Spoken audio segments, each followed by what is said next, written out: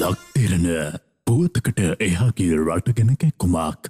මේ මොහොත සටන් අරගල ටිකටින් වර්ජන හත අට එකට සිඳගෙන තිබෙන අවස්ථාව. හැම තැනම ඉල්ලීම් අරගල මතුවෙමින් තියෙන. සාමාන්‍යයෙන් රටක අර්බුද පවතින මොහොතකත් නිහඬ නිෂ්ක්‍රීය නිශ්චල කාල සීමාවලත් මෙවැනි අරගල අපිට අලුත් දේවල් විදියට දැනුන්නේ නැහැ හැමදාම. හැබැයි වර්ජන කිරීමේ තියෙන අයිතිය, විරෝධය බෑවට තියෙන අයිතිය රටක පැවැත්මේ අයිතියට සහ එහි ක්‍රියාකාරීත්වයට බාධා වෙනවා නම් ඒක ඇත්තටම ඛේදවත්. දැන් උදාහරණයක් විදිහට බදු පනවනවට විරුද්ධ නම් බදු සාධාරණ කරණය කරගන්න අපි විවිධ මට්ටමේ සාකච්ඡා සංවාද වලින් එක කරගන්න පුළුවන් වෙයි. දැන් රුපියල් ලක්ෂයක ආදායමක් තියෙන කෙනෙකුට රුපියල් 3000ක බද්දක් ගන්නවා නම් ඒ ලක්ෂයේ ආදායම තියෙන කෙනාගේ අල්ලපු ගෙදර ඉන්න රුපියල් 10000ක්වත් ගන්න බැරි මිනිහෙක් නම් එවැනි පවුල් නඩත්තු කරන්න ආණ්ඩුවකට විශාල වියදමක් දරන්න වෙනවා. පෞගේ ජාතික අයවැලේ කෙනෙක් 152ක් වෙන් කරලා තියෙන්නේ සුපසාධන සහ සානාධාර කටයුතු සඳහා. මේ 152 ආදායම කොහෙන්ද හොයාගන්නේ? දැන් උදාහරණයක් විදිහට ගත්තාම එක ගෙදරක ලක්ෂයක ආදායමක් තියෙනවා. අනිත් ගෙදරට රුපියල් 10000ක ආදායමක්. ලක්ෂයේ ආදායම තියෙන කෙනා අල්ලපු ගෙදර මිනිහාගේ දුක සම්බල්වලද? නෑ. එහෙනම් ආණ්ඩුවට සිද්ධ වෙනවා පවුල් ලක්ෂ 40කට පමණ මේ ආණ්ඩුවට සිද්ධ වෙලා තියෙනවා සානාධාර දෙන්න. ඒ සානාධාර අර මාලිමාවේ කට්ටිය උගක් කට්ටිය කියනවනේ රංකැකුළු ගිනුමෙන්ද මේවා කරන්නේ කියලා. තරම රංකැකුළු ගිනුමෙන් කාටද මේ සාහනාධාර දෙන්න පුළුවන්. ඉතින් ඒකට බද්දක් අය කරන්න. බදු පනනකොට චිත්ත ප්‍රීතියෙන් හිතුවා බදු පනවන්නේ නැහැ කවුරු. බදු ගෙවන අය චිත්ත ප්‍රමෝදයෙන් හිතුවා කියලා බදු ගෙවන්නෙත් නැහැ. දැන් ගිය මාසේ මගේ දීමනාවෙන් කපලා තිබුණා රුපියල් 1,70,000. මටත් මල බයිනවනේ. 1,70,000ක් කපුවා. ඒ නිසා කවුරුත් සතුටු නැහැ බදු පනවනවට. හැබැයි මේ මොහොතේ පවුල් ලක්ෂ 40කට ආසන්න ප්‍රමාණයක් අපි රැකගත යුතු තිබෙනවා. දැන් මාලිමාවේ කට්ටිය අර ජනතා විරුණේ කට්ටිය තමයි මාලිමාව කියලා කිව්වට. මොකද හැවාරියට ණය හැමම තමයි. අර උඩ පෙනේ පොඩි වෙන්ට් එකක් ගන්න තියෙන්නේ. සායි මාලිමාවේ ඉන්නේ ජනතා විරුණේ අය. ඒගොල්ලෝ නිර්ධන පන්ති ආඥා දායකත්වය සඳහා පෙනී සිටපු අය. දැන් මේ රටේ 150කට ආසන්න නිර්ධන පන්තිය ආරක්ෂා කරන්න බදු ගන්නවට නිර්ධන පන්ති ආඥා දායකත්වයක් සඳහා සටන් කරපු අය අකමැතිද ඒ තමයි අකමැති. දැන් එයා සමාජවාදී වචනේ පාවිච්චි කරන්නේ අර ශ්‍රී ලංකා ආණ්ඩුක්‍රම විද්‍යාවේ වචනයක් තියෙනවා සමාජවාදී ප්‍රජාතන්ත්‍රවාදී ආණ්ඩුක්‍රමයක් කියලා. ඒ වගේ තමයි දැන් මාලිමාවේ කට්ටිය සමාජවාදී වචනේ පාවිච්චි කරන්නේ හැබැයි සමාජවාදී වුණත් නොවුණත් මේ ආණ්ඩුවට සිද්ධ වෙලා තියෙනවා ශ්‍රී ලංකා පොත්ජන පෙරමුණේ සායෙන් දායකත්වයෙන් පවතින මේ ආණ්ඩුවට සිද්ධ වෙලා තියෙනවා අර නිර්ධන පන්තිය ආරක්ෂා කරන්න. ඒ නිර්ධන පන්තිය ආරක්ෂා කරන රංකැකුළු ගිණුම් වල මුදල් ගන්න බෑ. බදු වලින් මේක කරන්න වෙලා තියෙන නිසා කිසියම් විදියක පීඩනයක් කිසියම් විදියක බරපතල දුෂ්කරතාවකට අපි ඔක්කොම මුහුණ දීලා තියෙනවා. අපි ජපානට යන්නේ නැත්නම්, අපි ඇමරිකාවට යන්නේ නැත්නම්, අපි ඕස්ට්‍රේලියාවට යන්නේ නැත්නම්, අපි ශ්‍රී ලංකාව ගොඩනගනවා නම් මේ අභියෝග ජය ගන්න සාමූහිකව අපි ක්‍රියා කළ යුතුව තිබෙනවා. දැන් ඊළඟ කාරණේ තමයි අපි අවසාන වශයෙන් ඒ ගැන කියනවනම් යමක් කියනවනම් මේ ආර්ථික අර්බුදයෙන් දුකටපත් වූ ජනතාව විපතටපත් කිරීමේ ව්‍යාපෘතියක් බවට වැඩ වර්ජන රැල්ල පත් නොවේවා කියලා මම ප්‍රාර්ථනා කරනවා එයාගෙන් ඉල්ලීමකුත් කරනවා. ඊළඟට මේ මොහොතේ සාකච්ඡාව වෙන එක තමයි මේ මොහොතේම යන්නේ. දැන් පළාත් පාලන ආයතනවල කාලය අවසන් වෙලා කොමසාරිස්වරුන්ට සහ ලේකම්වරුන්ට අද ඉඳලා බාර වෙනවා. දැන් මේ කාරණේදී කියන්නේ සමහරු කියන්නේ මෙතෙන් සිට ආණ්ඩුව මේ ආයතන පවත්වාගෙන යනවා. මම කියන්න කැමති මීට කලින් ඉතිහාසයේ අවස්ථා ගණනාවකදී කොමසාරිස්වරුන්ගේ ලේකම්වරුන්ගේ පාලනයට පළාත් පාලන ආයතන පත් වෙලා තිබුණා. එතකොටත් එහෙමද? එහෙම නැත්නම් දැන් අලුතෙන් මොකක් හරි වුණාද? එහෙම නෑ. එතකොටත් එහෙම තමා. දැනුත් එහෙම තමා.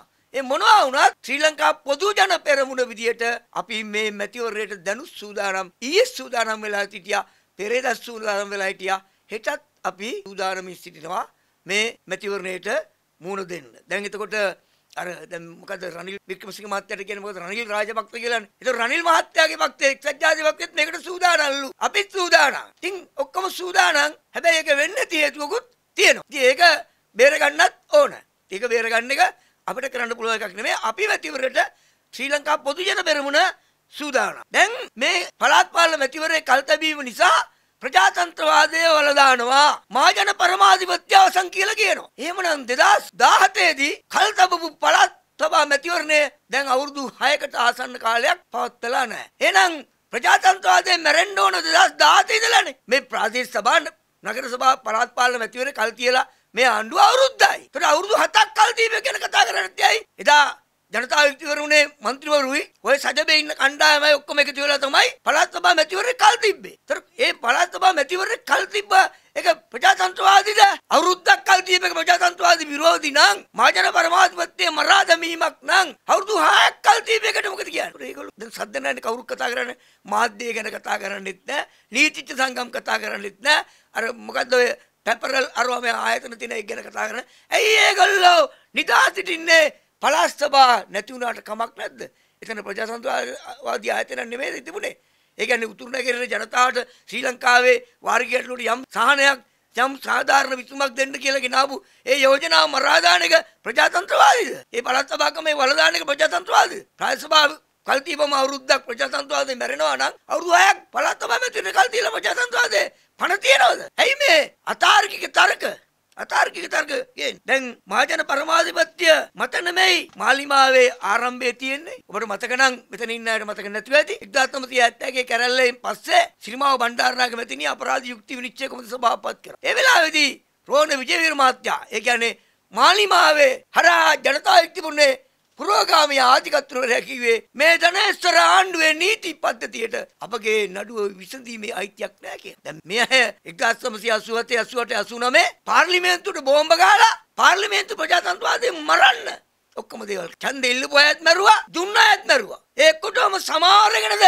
ප්‍රජාතන්ත්‍රවාදයේ මුරදේවතාව වෙන්න හදන්නේ මාලිමාව. අනුර කුමාර දිසානායක. පාර්ලිමේන්තුවේ බෝම්බ ගාලා එක මරන්න හැදුවා. ධනේශ්වර ආණ්ඩුක්‍රමයක ආණ්ඩුක්‍රම ගත්තා පිළිගන්නේ නැහැ කියලා කිව්වා. එහෙම කියපු අතීතයක් තිබුණා. ඒකට ඒගොල්ලෝ උත්සාහ කරේ විප්ලවී ආණ්ඩුවක් හදන්න. නිර්දන පන්ති ආඥාදායකත්වයක්. අර මම මුලින් කිව්වා වගේ දැන් සමාජවාදයේ කියන වචනය මාලිමාවේ කවුරු හරි පාවිච්චි කරනවද? ඇහිලා තියෙනවද? අහන්න නැහැ. කවුරුත් කියන්නේ. ඒ නිසා ධනේශ්වර පාර්ලිමේන්තුවේ බෝම්බ ගහපු අය ආණ්ඩුක්‍රම ගත්තා වගන්ති කටපාඩම් කරගෙන එනවා. ඇවිල්ලා රටට කියනවා මෙන්න මේ වගන්ති මත මෙන්න මෙහෙමයි වෙන්න කියලා. ඒකට ධනේශ්වර ආණ්ඩුක්‍රම මේක ආණ්ඩුක්‍රම ගත්තා රෝණ විජේර මහත්තයා ප්‍රතික්ෂේප කරපු එක දැන් ගෝල බාලයෝ ටික ආපහු පිළි අරගෙන තියෙනවා. දැන් ඊළඟ එක තමයි ගෝල් බේස් අරගලේ. ඒ වෙලාවේ මේ රටේ මාධ්‍යායතන ඔබ ඉන්නවා. මේ රටේ බොහෝ දෙනෙක් කිව්වේ චින්තකයෝ දාර්ශනිකයෝ ශ්‍රී ලංකාව ගොඩනගිය හැකි නායකෝ සහ දේශපාලන නායකෝ එතන ඉන්නවයි කියලා කිව්වේ. දැන් ඒකේ හිටපු ඒකේ නායකත්වයේ හිටපු අර දමිත අබේරත්න කාටද සැලුට් දාන්නේ? කොහෙද ඉන්නේ? දැන් ඒකේ නායකයෝ කො? කවුද ඉන්නේ? කොහෙද ඒගොල්ලෝ කිව්වේ රට? දැන් ඒගොල්ලෝ සිස්ටම් චේන්ජ් එකක් ඇදුවා කියන්නේ රනිල් වික්‍රමසිංහ මහත්තයා ජනාධිපති කරන එකද? සිස්ටම් චේන්ජ් එක කිව්වේ ඒකටද? අන්තිමට බලපුවම හිස් පිට්ටි බම්බුවක් වගේ නේද අරගලේ. ඒ වගේ තමයි මේ මේ අය. කවුද? මාලිමා ඉන්න අය. දැන් සමහර ඉති තියෙන දාර්ශනිකයෝ, චින්තනිකයෝ, චින්තකයෝ ඈ ප්‍රඥාවන්තයෝ කියලා මෙතන ඉන්නේ. ඕකත් ඕවගේ මිස් පිට්ටි බම්බුවක්. ඕක බලයට ආපු දවසට තමයි පේන්නේ කොහොමද මොකද උනේ කියලා. දැන් කියනවනේ පාර්ලිමේන්තු මන්ත්‍රීන්ගේ විස්රාමයට බහුස් කරනු ලැබේ. කී දෙනෙක් විස්රාමයට ගෙවනවද? 266 දෙනා. 266 දෙනා. කී කියක් කමලද පාර්ලිමේන්තු මන්ත්‍රීකට විස්රාමයට අවුරුදු පහක් ගිහින් බව රුපියල් 18000යි. අර කතානායකතුමාගේ මොකද්ද කරුණාවන්ත දීමනාද මොකද්ද කියලා එක කම්බෙනා රුපියල් 30000ක්. අපි 50000යි ගිමු. එතකොට මාසෙකට කීයද? ලක්ෂ 133යි. අවුරුද්දකට ලක්ෂ 16ක් කෝටි කෝටි 16යි. කෝටි 16ක්. කෝටි 16කින් පාරක් හදන්න පුළුවන් කිලෝමීටර 4ක්. ඒතර අවුරුද්දටම කිලෝමීටර 4ක් පාර හදපුවාම මේ ජාතිය රට කොට නැගෙනවා. මොන ලද බොලද කතාවද මේ? ඇයි දැන් ජනතා විමුක්තියේ මන්ත්‍රීතුමා නම් කියන්නේ ඒගොල්ලන්ට අපහාසයක් කරන එක මට අනන්ත කතා කරලා තියෙන අනේ මන්ත්‍රීතුමා මැදිහත් වෙලා ඔය දීමනා වැඩි කරන අපිට ගෙදර ඉඳලා ජීවත් වෙන්න විදියක් නෑ මේ දීමනා. ජනතා විමුක්තිවරුනේ විස්ථාපික මන්ත්‍රීවරු. නම් කියපම අපහාසයක් ඉන්නද මං කියන්නේ නැත්. නම් කියන්නේ. එතකොට ලක්ෂ මේ 133යි මාසෙකට 50000ට එල්ල. 133 කියන්නේ නෑ. මම මේ තව ඉහළට ගෙනලා කියන්නේ. එතකොට අවුරුද්දකට කිලෝමීටර් 4ක් පාර හදන වියදම ඉතුරු කරගත්තාම රටක් හදන්න පුළුවන්ද? හැබැයි මේ රටේ ජනතාවට මේක කියපුවම සමහරු අන්දානුකරණේ සමහරු අනුකාරකයෝ ඉන්නේ ජංගීය තෙමා ගන්න අයනේ. ඒගොල්ලෝ අප්පුඩි ගාලා පිළිගන්නවා රට හදන්න පුළුවන් කියලා මේක. මෙන්න මේකේ සුන්දර මනෝ මනෝරාජික චින්තනයක්, දර්ශනයක්. ඒකට කියනවා යුටෝපියානු සමාජවාදය. මේ යුටෝපියානු සමාජවාදයෙන් මේ රට තියෙන තැනින් තවත් අගාධයකට ගෙනියන්න තමයි මාලිමායි කටයුතු කරමින් ඉන්නේ. ඒ විතරක් නෙමෙයි. දැන් කියනවනේ මේ ඔක්කොම හොරු කියලා. හැබැයි ජනතාව තිබුණ 1970 ගේ ග්‍රාමීය බැංකු ටික කඩලා ඒකේ තිබුණ සේප්පු ඔක්කොම කඩලා සල්ලි හොරකම් කරුවා. පොලිසිය වල තිබුණ සේප්පුවේ තියෙන සල්ලි හොරකම් කරලා ගිනි තිබ්බා පොලිසියට. හොරු හොරු 1988 දී මගේ අයියාගේ ගෙදරට ඇවිල්ලා ලොකෝයා ගෙදරට ඇවිල්ලා උළුට තුවක්කු දෙන රුපියල් 5000ක් ගත්තා. ඒවලට මම රත්තරන් බඩු ගත්තා. හැමතැනම හොරකම් කරා. ඒ විතරක් නෙමෙයි. අරලියගා මන්දිරේ අග්‍රාමාත්‍ය කාර්යාලේ ජනාධිපති මන්දිරේදී බඩු හොරකම් කරගෙන ගියා. බඩු හොරකම් කරගෙන ගියා. මන්ත්‍රීතුන්ගේ ගෙවල් 76කට ගිනි තියලා ඒ වගේ බඩු හොරකම් කරගෙන ගියා. පරණ බඩු තිබුණා අද්දලා තිබුණා වටනාකම් තිබුණා. ඒ ඔක්කොම අරන් ගියා. මගේ ගෙදරට ගහලා මං හිටපු නවාතන්ට ගහලා මගේ ගෙදර බඩු අරන් ගියා. ඒ විතරක් නෙමෙයි. මට ජනතාව තිබුණා කියන්නේ බුලත් පිට හපයා කියලානේ. මං බුලත් කියලා ගන්න පිත්තල පඩික්කම හොරකම් කරගෙන ගියා ජනතාව කිව්වේ ඔය. පඩික්කම් හොරු රටේ ඔක්කොටම හොරු කියනවා. රටේ ඔක්කොටම හොරු කියනවා.